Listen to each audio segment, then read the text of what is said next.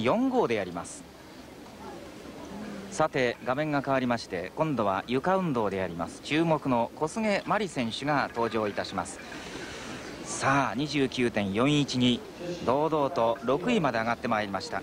もうちょっと加納さん期待したいんですがね。そうですね、まあ、床運動は小菅選手の得意種目ですから、はい、大いに期待できるところですね、はい、まだ中学校の2年生であります1メートル38センチという大変小柄な体でありますけれどもご覧のように和製コマネチと言われているぐらい顔立ちが非常にキリッとしております。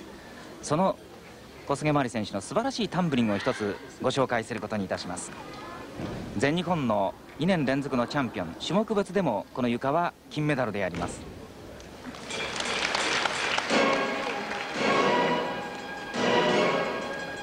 年から小菅選手は振り付けも変わりましてね、まあ、小菅選手らしいキビキビとした素晴らしい動きですね。なるほどね。さあ最初のシリーズが始まります。ああ素晴らしいテンポ宙返りからこれムーンサルト。おっとラインオーバー。痛い、うん、もうゴムまりも 弾みすぎちゃいますとね。ね。弾みすぎて出てしまいましたね、えー、赤旗上がりまして最初のシリーズはラインオーバー上がりました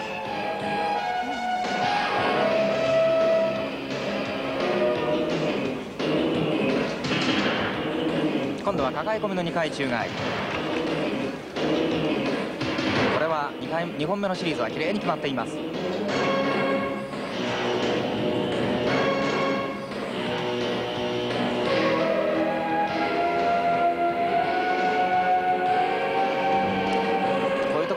すごいですね。そうですね。つなぎに2回ひねりから前置を使うというのはやはり小菅選手ならではですね、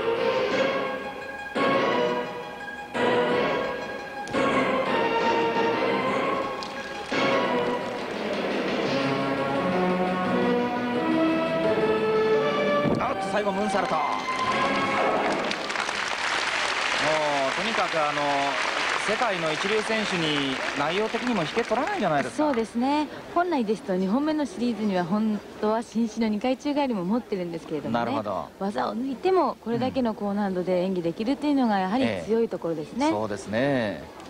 まあ、ちょっとラインオーバーが惜しまれますけれども小菅真理選手の素晴らしい床運動でございました